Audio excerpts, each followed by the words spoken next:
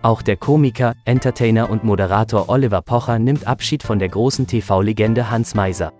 Was viele nicht wissen, der verstorbene Moderator ist quasi der Entdecker von Pocher. Meiser war es, der 1999 Pocher in seiner Fernsehsendung auswählte und ihn damit ein einwöchiges Praktikum beim ehemaligen Musiksender Viva in der Show interaktiv ermöglichte.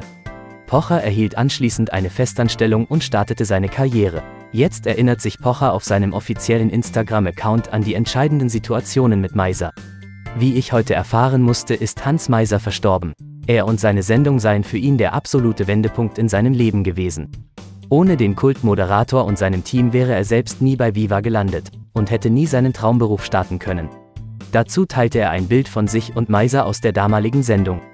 Weiter schrieb er in seinem Beitrag, dafür bin ich Hans Meiser bis heute dankbar und auf ewig verbunden. Er wünsche seiner Familie und Freunden viel Kraft in dieser schweren Zeit. Hans Meiser starb im Alter von 77 Jahren überraschend an Herzversagen. Er gilt bis heute als Fernsehikone, Mann der ersten Stunde des Privatfernsehens und als Wegbereiter der Talkshow-Formate in den 90er Jahren. Nach seinem Wechsel zu RTL Plus in den 80er Jahren war Meiser zunächst Enkermann der dortigen Nachrichtensendungen. 1992 startete er mit seiner Talkshow Hans Meiser, erst 2000 wurde die Show eingestellt.